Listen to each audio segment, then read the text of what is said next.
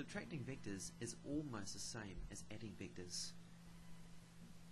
To subtract a vector, all you do is add the negative. So for example, when subtracting vectors a minus b, that is the same as a plus negative b. All you do is flip the second vector around. So negative b points up, whereas positive b pointed down. Now that you've flipped the second vector, all you have to do is add them as normal, head to tail.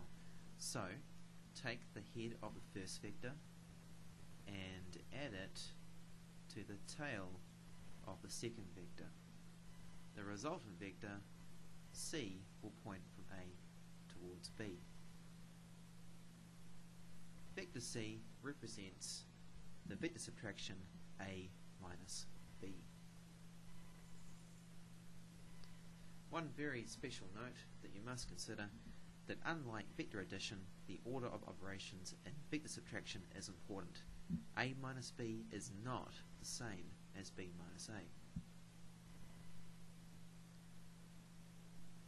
So in summary, when subtracting vectors, first flip the second and then add head to tail and remember the order of addition is not important whereas the order of subtraction is